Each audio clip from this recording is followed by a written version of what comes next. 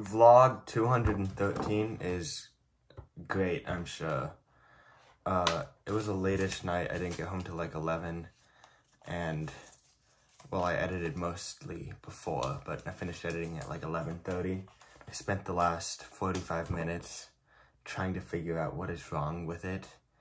I have 20 times the storage I need and it will not convert, so I can't even upload, so I'm sorry.